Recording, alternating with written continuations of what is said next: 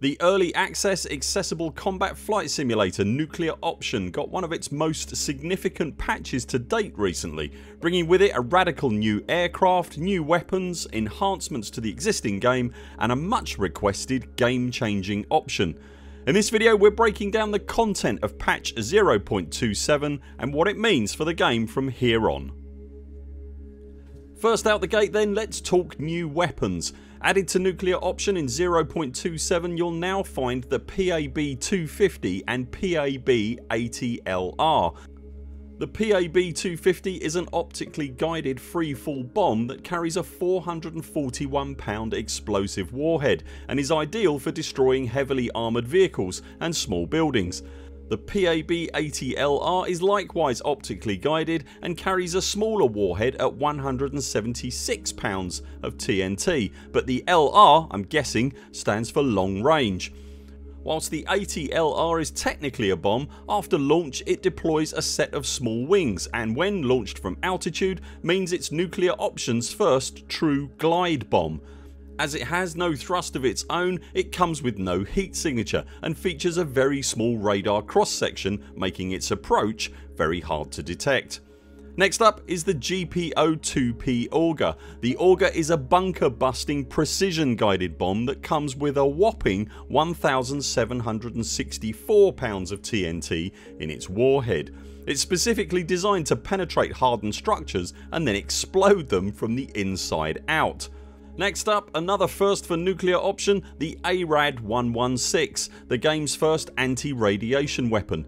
For the uninitiated anti-radiation has nothing to do with the games titular nuclear ordnance but is rather specifically designed to target surface radar emissions. The missile can be fired targeted to a known radar source for a more conventional attack or it can be dumb fired and will lock onto any detected enemy radar after launch. This method of attack has the advantage of allowing the weapon to be fired from significant distances or in some cases from behind terrain, shielding the launching aircraft from attack by the very SAM unit it's seeking to destroy.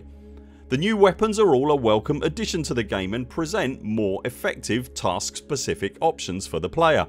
The existing arsenal of familiar weapons has also been upgraded and improved however in a few key areas making them all much more effective.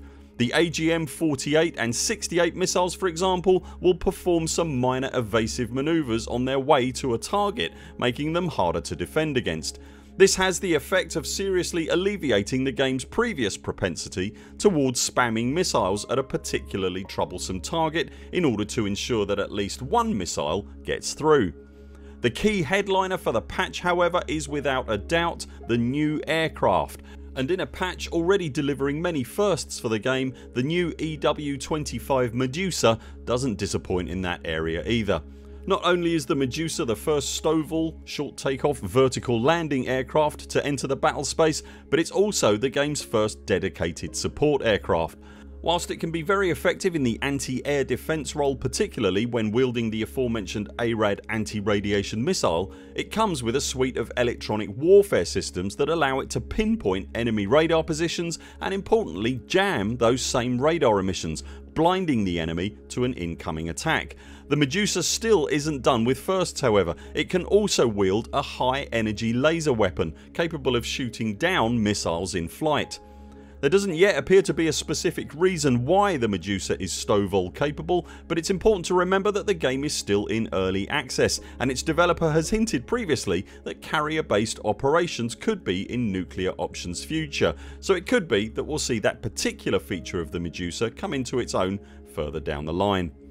As well as some welcome graphical refreshes to weapons and terrain, some bug fixes and AI tweaks, the 0.27 update also introduced the very welcome indeed implementation of head tracking in the form of support for the TrackIR unit specifically. I have heard of at least one instance of a player using the Tobii eye tracker successfully in the game as well. No two ways about it, head tracking in nuclear option is an absolute game changer as it is in most games in which it's implemented. This initial implementation of the feature has already granted the ability to much more easily target an asset on the battlefield just by looking in its direction, particularly useful when you're flying perpendicular to something that very much wants you dead. But also identifying a runway for landing, damage assessment flypasts or the simple joy of watching a nuke land all have a new level to them. Hot on the heels of 0.27 and the arrival of the Medusa the game is far from resting on its laurels however. The games developer B25 Mitch is already posting work in progress images of the next aircraft to enter the game a new highly manoeuvrable multi-role fighter. Have you tried the new EW25 Medusa? What's your favourite of the new weapons added in 0.27 and what feature would you most like to see added next? Let us know in the comments below. If you've enjoyed this video be sure to like and subscribe so YouTube shows you all our content and if you'd like to support our work here at the Buur Pit you can also join our Patreon. Links to that and everything we've talked about in this video you'll find linked below. That's it for now. Thanks very much for watching. We very much look forward to seeing you next time.